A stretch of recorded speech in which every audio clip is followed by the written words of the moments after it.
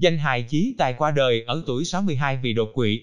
NSND Hồng Vân xác nhận với Vietnamnet rằng danh hài chí tài đã mất vì đột quỵ.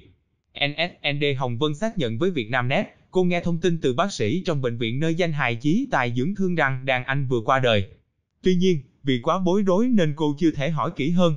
Ca sĩ Hồ Lệ Thu cũng chia sẻ với Vietnamnet, tôi vừa gọi cho anh Hoài Linh.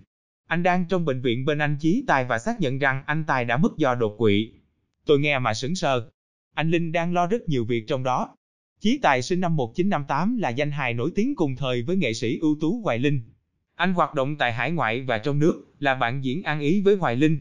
Trước đó, ông cũng được biết đến như một nhạc công guitar, nhạc sĩ hòa âm hàng đầu tại hải ngoại trong giai đoạn thập niên 1990, đồng thời là nhạc sĩ sáng tác và viết lời Việt cho một số ca khúc.